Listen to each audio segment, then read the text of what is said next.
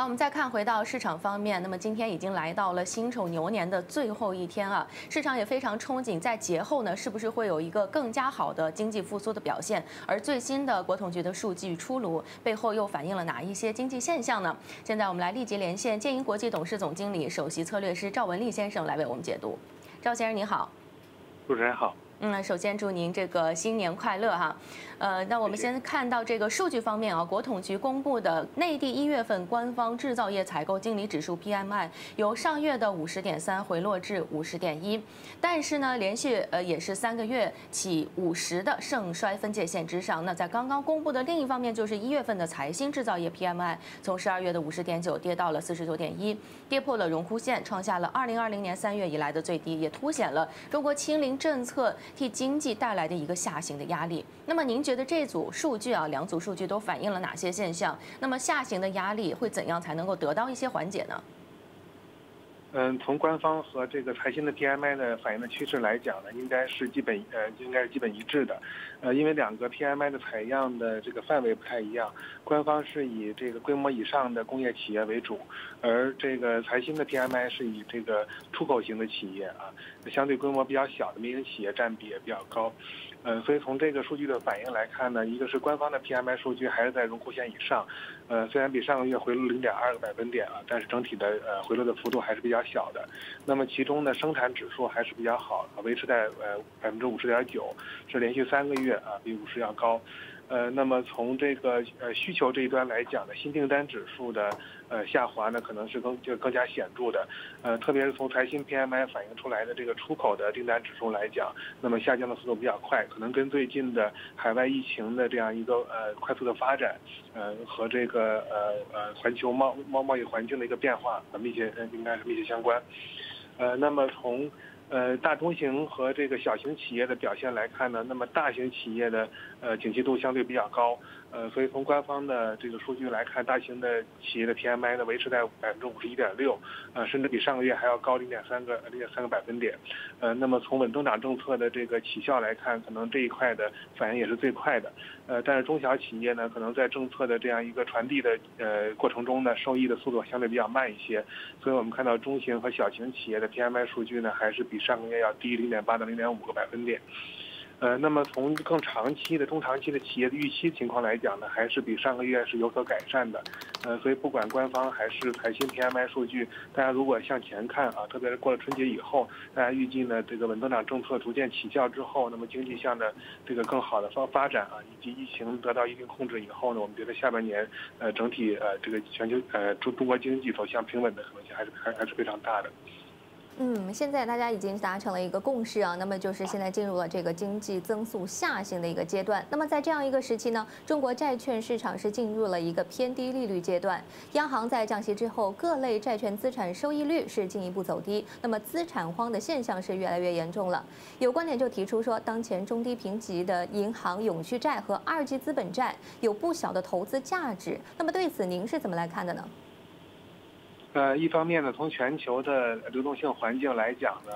呃，虽然中国和美国短期的货币政策有一些分分化的情况啊，但是全球主要央行的利率都是在逐步的向上加的，呃，所以从全球的利率环境来讲，在未来几年可能这个利率水平还逐渐往上走，呃，那么另外一方面呢，从这个资产配置的角度来看，银行的这些。呃，这个永续债和二二嗯二级资本债呢，呃，它更多的是面向面向机构投资者，呃，所以嗯，从这个嗯风险回报的情况来看啊，一些高评级的或者中高评级的，呃，这个银行的次级债和这个呃永呃永续永续债等等的，我觉得吸引力还是比较高。呃，那么对于这个以往的情况来讲呢，可能市场上比较关注的，呃，应该是包商啊，包商银行。那么它的二呃二级呃资本债呢，曾曾经出现过全呃全额减记，呃，所以就是说呃整整整整体市场的风险相对来讲还是比较可控啊，偏低。但是从呃过去一年，那么房地产啊相关的信用风险逐渐上升的情况，以及地方商业银行整体的资本充足率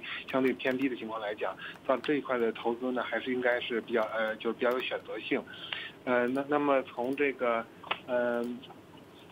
我们看主要的参参与的机构来看呢，银银行理财啊，包括这个呃一些呃企业年年金、保险公司等等，还是呃比较多的投资在银行的这个呃呃呃银银银行的永续债上，呃，所以从这一方面来讲呢，资产配置的价值相对来讲还是比较高。呃，但是像我刚才说的，就是在投资的这个过程中，呃，可能呃针对不同银行的这些基本面，呃，做一些比较重要的这些这个。呃，资本呃资呃资本充足率的这个审查啊，那么做一些区别化的投资，这这个重要性还是非常高的。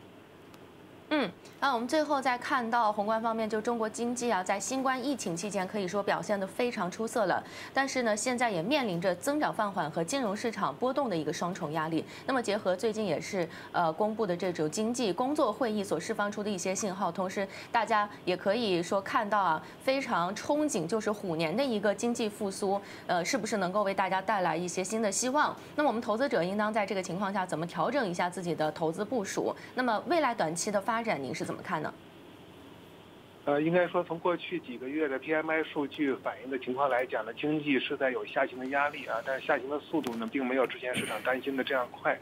呃，但是呢，如果看到这个全球的经济、全球疫情，呃，这样一个发展来讲呢，今年的这个经济下行的压力，特别是在海外这块还是比较大。呃，特别是最近呢，大家对美国经济，那么未来，呃呃，这个经济下行的幅度啊，甚至陷入衰退的风险的担忧呢，越来越越大了。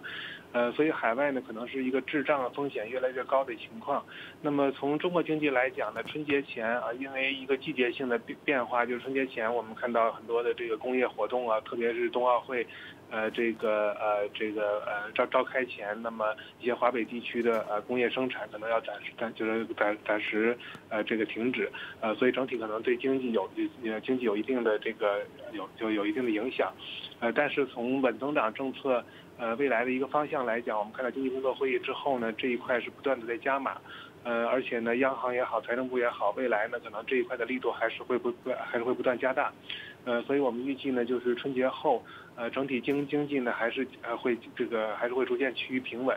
呃，那么可能第一季度的增长呢相对来讲会偏低一些啊，但是从全年来看呢，前低后稳的这样一个可能性还是比较大的，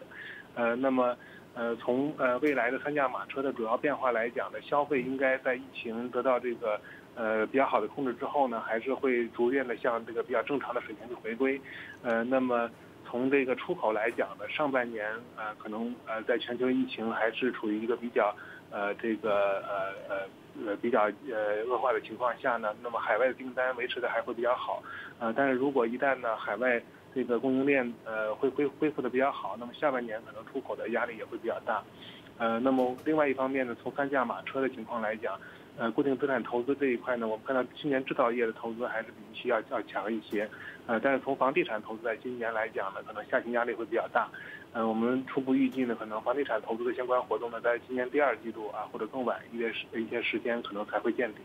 呃，那么从国家财政和这个“十四五”规划的重点的财政投资的方向来讲，呃，可能一方面一些呃关乎关乎民生的。啊，这些这个呃，三农相关的一些水水利工程啊，包括保障房建设啊，包括十呃“十四五”相关的一些这个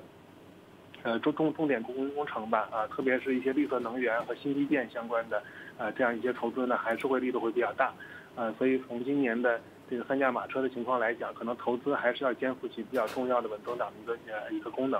呃，那么。呃，可能从更长期的情况来讲啊，那么全球走出疫情以后啊，那么中国在这个加快实施啊这个新新阶段高质量增长的战战略之后呢，我们觉得，呃，今年的下半年到明年啊，那么经济重新回到一个平稳增长的轨道的可能性还是比较高的。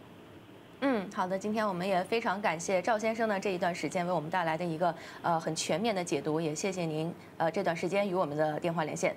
好的，我们也是先休息一会儿，广告过后马上回来。